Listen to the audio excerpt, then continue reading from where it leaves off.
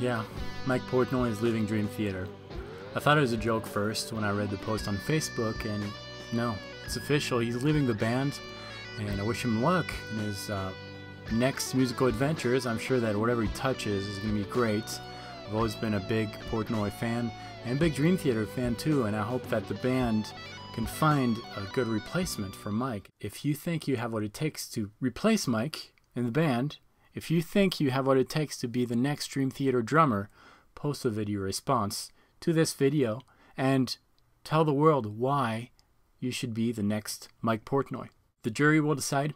The winner will replace Mike in the upcoming tour. You know that that's bullshit. You will also receive a $10 gift certificate to iTunes where you can download some of Dream Theater's music. Be original, be truthful.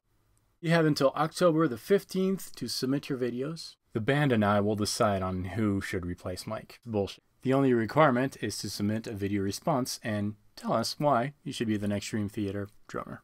I am looking forward to receiving a lot of videos. As always, salut.